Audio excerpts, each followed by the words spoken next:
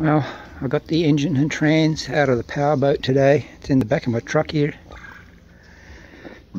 It's now like 1 o'clock, 1 and 30 in the afternoon. I got um, a couple of through-hole fittings. I know I'm going to have to replace some. So I've got some reasonably good second-hand ones.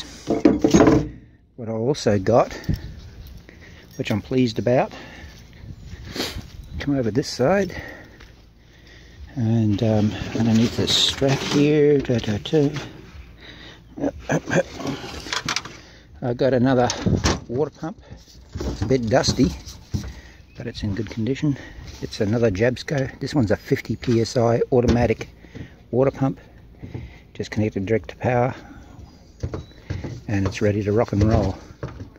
This one's 50 psi so I'm thinking that would be good for the uh, aft berth shower and sink because there's a bit more power there so we can you know it'll pump out more water if you want it. Also picked up a, another pump it's just sad condition but if it works I can clean it up. I can replace this base here and this corrosion here. I'm gonna I'm just gonna have a look at it. When you get something for nothing you have to check it out right? So that's yeah just having a bit of a play with this stuff here. And um, this engine was a runner in the boat when it when the boat um, came on out of the water. And then the boat was scrapped. So this engine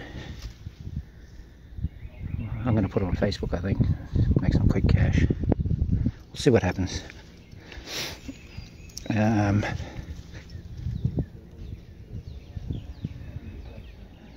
it's black. It's a 350 Chev. It's a marine engine. It's got the transmission still on the back. Coolant came out when we cut the hose uh, to remove it from the boat. Uh, the transmission is a bit greasy and such down here, so I know there's and that yeah the fluids and such in it are all good. Um, I don't want to get dirty again. I just finished cleaning. Um, yeah, there's there's really not much to show you. There's a little bit of corrosion on the alternator here. Probably put another alternator on it.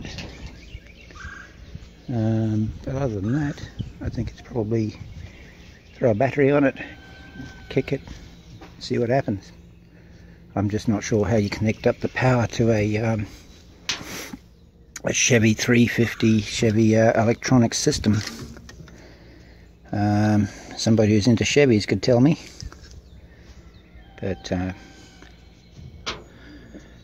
I'm not the person for that. So anyway, that's the motor. Um, I think that's all about it for now. I'll probably make another video later. Uh, talk to you soon. Five o'clock in the afternoon. I've been working on the refrigeration side of this boat, getting this these refrigeration plates out. They must weigh about 40 pounds each and then I got that refrigeration stuff out as well.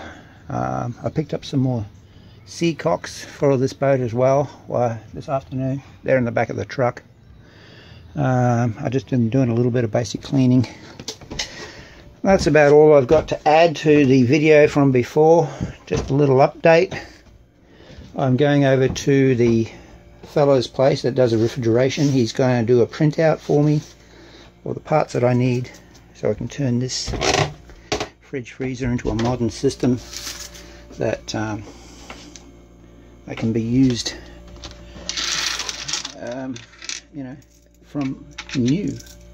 Having this new would be a good idea I think. Um, trying to keep an old system working that's 40 years old I don't consider that to be uh, the wisest move so that's going to be new. The hot water tank is still under the deck here, uh, underneath the floorboards. I haven't pulled that out yet. I'm going to put a new hot water tank in.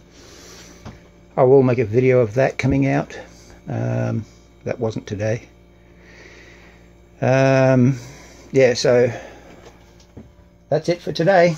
Um, I'm going to start cleaning up, closing up.